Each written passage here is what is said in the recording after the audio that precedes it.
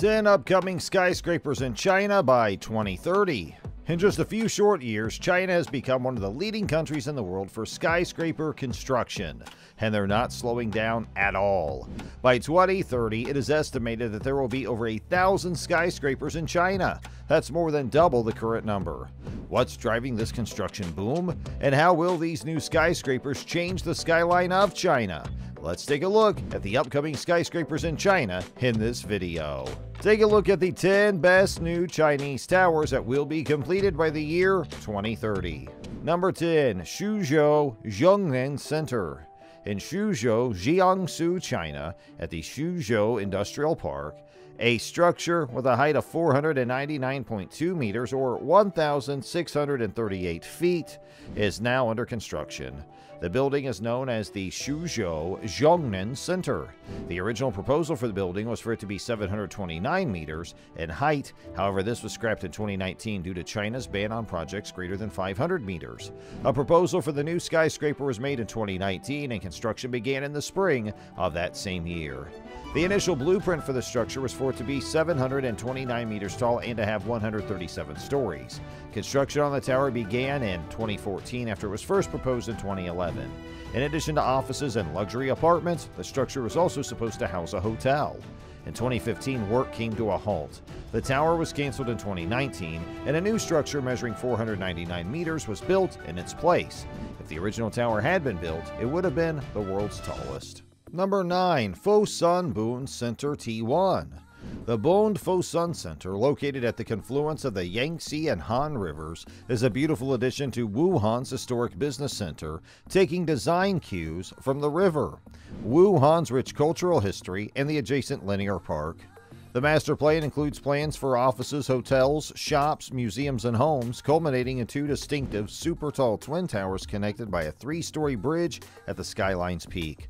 The buildings are connected together aesthetically in a way that is reminiscent of the movement of water, and they've been strategically placed to take advantage of the surrounding riverscapes.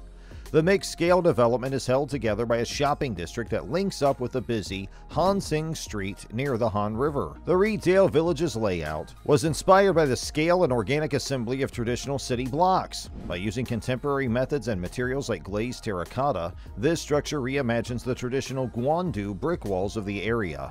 Although this section of the design is more linear, the water theme is still apparent in the facade's progressive rotation of terracotta bricks. The project employs a comprehensive environmental approach that bridges the gaps between design, technology, and way of life. The Bund Fosun Center is an example of a transit oriented development that contributes to sustainable growth by optimizing the effectiveness of public transportation and reducing the building's demand for energy and other resources. The heat island effect is mitigated and runoff is decreased thanks to the greenery and roofs.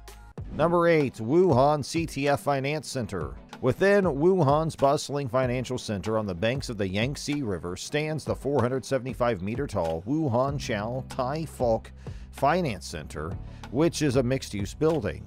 The center includes a 600 meter office tower, a 200 meter shopping mall, and two 200 meter residential towers on a total site size of 66,200 square miles. Sustainable design principles are woven into every aspect of the project, which aims to create a harmonious atmosphere that brings together people, nature, and the arts. The complex, which is part of a transit oriented development initiative, connects the city's transportation center with large green spaces along the shore. The staggered, lit glass canopy atop the office tower is the inspiration for the building's name, Lighthouse of the 21st Century. This canopy serves as a beacon for everyone to see and is meant to represent optimism for the future. Number 7. Chu Sheng Building. Located at the corner of Yanjiang Avenue and Seaway Road in Hankou, the 560,000 square meter Wuhan Chu Sheng building is required investment of 20 billion yuan to compete. Li Zuyuan, the same celebrated architect who created the iconic Taipei 101 building, was responsible for the structure's design. Green and low carbon, thriving economically and culturally, looking toward the future, a city in the sky.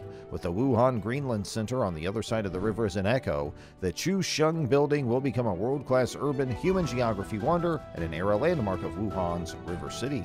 Number 6. Tianfu Center. The 489 meter tall Panda Tower, a mixed use super tall building built for China Overseas Jialong Chengdu Real Estate, was designed by American Prize for Architecture laureate Jamie von Klemperer and Rebecca Ching of Kohn Pedersen Fox Associates to resemble the structure of mountains with cutouts and distinct sections that increase environmental efficiency by allowing wind to flow through the structure.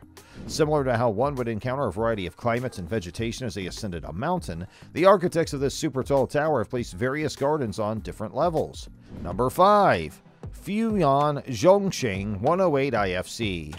Zhongshan, China is home of the 498 meter or 1634 foot tall Fuyuan Zhongshan 108 IFC skyscraper, originally known as the Bay Area Star.